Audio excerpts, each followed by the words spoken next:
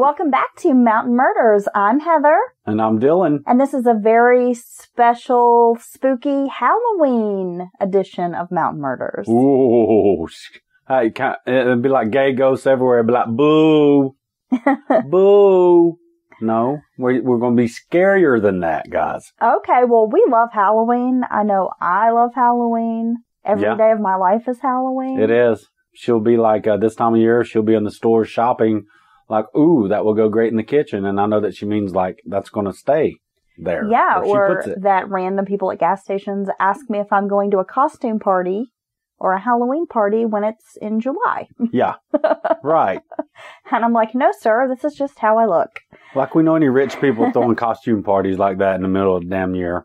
So we love Halloween and horror, so why not kick off the creepy season with a great horror story Yes. A or very, horror stories? yes, spooky stories from our family, from our listeners. It's our listener family, Yes. our Mountain Murders family. Yes. Yeah, so we ask you guys to send us your creepy, scary, spooky, frightening stories. And we got some good stuff here, Dylan. I'm ready for this. Are you ready for this? Yeah, I was uh, thinking of them like creepy pastas, but these are real stories. These are not fictional accounts.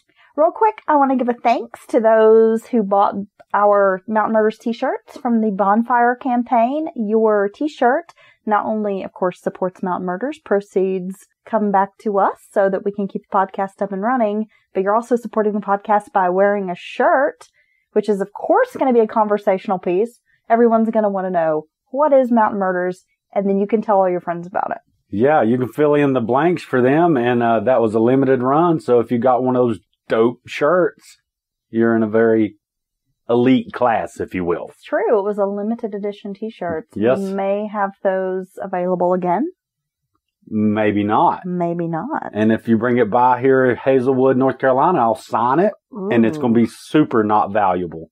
We have been watching a lot of horror movies. Oh my which God. It's normal we do that anyway, but especially this time of year. It seems like we've been watching at least a horror movie a day. Yes, we've watched a bunch. doubling up. Yes, and what I've uh, enjoyed about that is I've got you to watch some of the goofier ones that I can't get you to watch sometimes. Yeah. Classics like Attack of the Killer Donuts.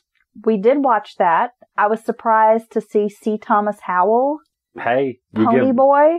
you give him ten or fifteen grand, he'll pop in for a day or two. Stay Gold Pony Boy. I know. So he was a cop in Attack of the Killer Donuts. It was a great cheesy movie. It was pretty awesome, The donuts had scary little teeth. and they were like, yeah, And then in several scenes, it appeared that someone off camera was just throwing donuts Literally at actors. throwing the donuts So if you're looking for a great, ridiculous film, Attack of the Killer Donuts, perfect. Incredible. So we had another one along those lines. The Ice Cream Man. Oh, that's a classic. We actually bought this film. We got a DVD. It was like a, what was it, five for $10 deal Yeah, at this little indie video store in Asheville. we got some great ones that day. Oh yeah, so we bought some really shitty movies, but The Ice Cream Man was great. It was. It a- was so bad, it was good. It was pretty awesome. The Furies, another film you found for us. And I just have to say, it wasn't overall a great movie, but one of the best kill scenes in a while. Yeah, I'm going. Yeah, like you said, it wasn't this incredible movie that you're just in awe of, which most horror movies aren't. But I will say the the kill scenes in that, um, one in particular with an axe to the face. You know, kill scenes are typically you know quick. Boom, they're stabbed, their heads cut off, whatever. Blood splatters. This is extended over three to four minutes. It's pretty gory. So if you it like, was fucking great. yeah. So if you like, uh, we had the goofy on the one side. If you like the more, uh, you kind of have to look away, cringeworthy stuff, then the Furies is where you need to go for that. Well, speaking of cringeworthy, and I might get some hell for this comment, but we, no pun intended, we watched Rob Zombie's Three from Hell. Horrible. And Oh not in a good way. I don't Oh. know what the fuck he was thinking. I'm sorry, but that movie was a steaming pile of dog shit. It doesn't even deserve to be in the same category as House of a Thousand Corpses and or the Devil's Rejects. or the Devil's Rejects. It was terrible. It's not the same conversation. Not at all. Nobody's heart was in it. The actors and actresses, Rob. And I fucking love Bill Moseley. and love I him. was just like, what is this? It's too much dialogue. It's uh, th- they're just acting like they shouldn't act. It's not in their character that's been built up all these years. Yeah, it just wasn't true to the characters. at So yeah, if you hadn't seen it yet and you're a fan of the other two, likely going to be disappointed.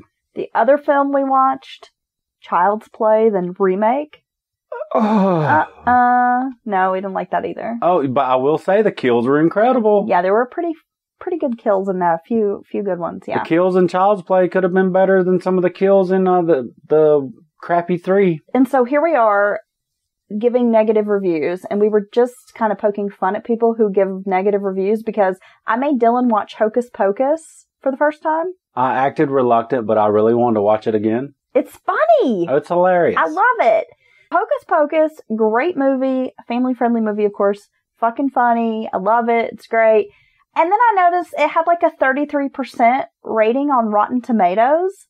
And I'm just like, who takes the time to review a movie on a website? Yeah, let alone, well, I can see if you love something, I mean, seeking it out. we're reviewing movies here on our podcast, but I'm not taking the time, actively taking the time out of my day to type up some big review and rate a children's movie on a fucking website. Yeah, from the nineties. Yeah. Right. Like, oh, this film from 1993 does not meet expectations. I mean, I just don't understand. Oh, the the script was very thin, and it was not the characters were not developed enough. Yes, I, I don't like Bette Midler's hair in the movie. I mean, seriously, come on, guys. Yeah, get a freaking laugh Okay, I feel like this is a sufficient amount of bullshitting. Yes, don't uh, don't turn me into not a fan. the bullshit police might be out in full force and ready to review us on a website with a negative review. So I guess it's time to get into the meat of the podcast. Yes, please do it while We're I'm slaying them while I'm with some scary stories. yes. Let's now, do Dylan, that. you're going to kick us off. okay, I can do that Okay.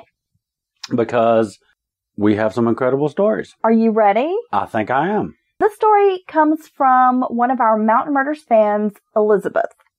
Yes, Elizabeth sent us a great little story. So go ahead and tell Elizabeth's story. Okay, so we lived in a house that had served as the hospital for our coal camp. When I was 14 months old, mom said I was taking a nap, but she heard me talking to someone, so she came to check. And I told her I was talking to the woman on the ceiling. Ooh, that's Ugh. creepy. Flash forward to when I was four, my aunt and I were sleeping in the same room, and we both saw a woman sitting in a rocking chair by the bed, and she was grooming herself in a handheld mirror. Auntie screamed, and Dad came running and turned the light on, and the woman disappeared. Oh, that would freaking freak me out. yeah. Ever since I was a child, I've had the ability to see spirits. My son sees them too. When he was about 18 months, I had had a miscarriage two months prior, and he kept saying, Come on, sissy Kate, let's go play. He never knew that her name would have been Caitlin. And I asked him who he was talking to, and he told me he was talking to his sister. Oh, Wow, that would. That at the same time it would creep me out and tug at my heart, you know, right? yeah. Yeah. He also saw my grandmother who died when he was three weeks old, and he knew her name too. My grandmother appeared in my back seat once, eight months after she died, to warn me of an impending wreck, and if she hadn't, I would have been killed as I was hit head on by a drunk driver. Oh my gosh. Oh my God. Wow. Are you kidding me? Well, I'm glad I'm not the only person who sees spirits. You know, when you tell people that, like, hey, I'm very sensitive, or I have this gift, or a curse, I guess however you want to see it, Right. people think you're nuts. They do. So I'm really glad that there are people out there who can relate and who also share those experiences. Well, thank you, Elizabeth, for sharing your um rather creepy experience with us because uh can you imagine just like watching some lady groom herself in a chair next to your bed? No, or could you imagine your kid talking about they're talking to the lady on the ceiling? Yeah, that's Uh-uh. freaky, right? No, I would retire back to the living room with my stiff drink. I have a great story. I think it's pretty creepy. It comes from my best friend, Julie. Okay. She's been my best friend for like 25 years. Yeah, y'all are pretty tight. Yeah, since high school, we roomed together in college. Like, we're tight, right? So I told her that we were going to do this great Halloween episode. And I said, hey, you know, because we both love spooky things. Do you have any great scary stories or creepy stories, anything like that? She was like, oh, you know, not really, because I'm usually the one that has the weird experiences Right. she's just along for the ride. but later she emails me this story from her grandmother. And so growing up, I knew Julie's Mama. Her name was Mama Venus. Wow. And Mama Venus was a very colorful character and she had a lot of stories. And she grew up over in a little tiny area. I believe it was called Japan, North Carolina. It is what is now Lake Fontana Okay. or Fontana Lake. And so for those of you who may not be familiar, during the 40s and 50s, um, after the New Deal came to be, Roosevelt was trying to, you know, bolster the economy. They were trying to get more indoor plumbing and water and that kind of thing to the Appalachian region. So they developed the TVA, the Tennessee Valley Authority. And so they created some of these like lakes Right. in order to have the electricity So basically, people didn't have a choice in this, right? Once they decided to flood an area. Right. So what they did is they came into some of these towns and they were like, Hey, we're going to buy your property and this is what we're willing to offer you.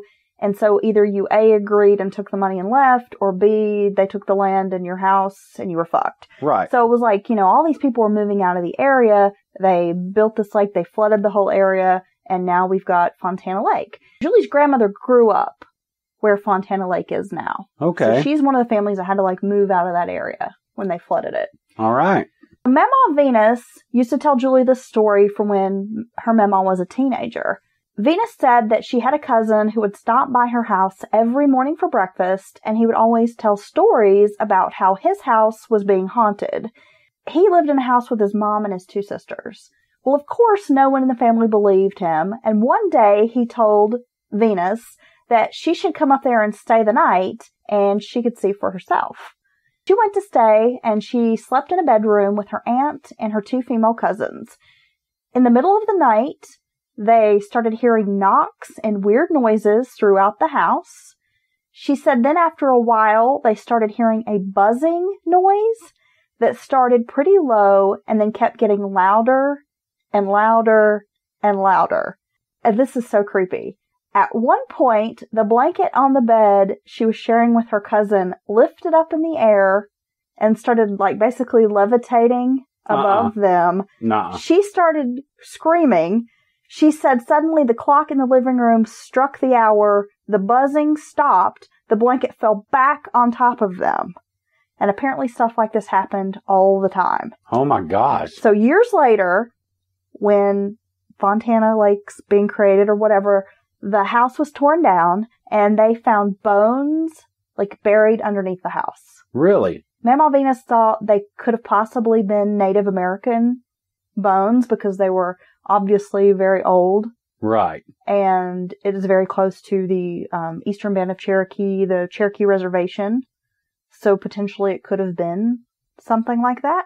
Or who knows? Maybe someone murdered somebody and shoved their body under the house. Well, who who does know? Because you would think if it's anything related to the family or the you know home being built there, that they would know of it or heard stories, right? Right. So maybe that's why she thought it might have even predated like the construction of the house. Well, it's probably a good thing they didn't dig a swimming pool. That would super freak me out to think of a blanket like levitating and then just dropping back on top of me. Yeah, that's not going to work for me because I would be losing my shit. I'm not even Yeah. kidding. I'm not even kidding. You have another story for us, right? Yes, I do, and um, I will make people suffer through this rendition of it. okay, this comes from Melissa. Ooh, okay. Thank, thank you, Melissa. Hi, Melissa. So a few years back, a few friends of mine from work decided to go ghost hunting. We drove up to a cemetery. I think it was on Jay Creek in Waynesville, North Carolina. That's ga- Jonathan Creek, right? Jonathan Creek. uh, yes, I'm sorry, Jonathan Creek. We gathered around in a circle. It was probably around midnight. Whoa. My friend started speaking and asking if any spirit wa- any spirit wanted to let us know that they were there to show us.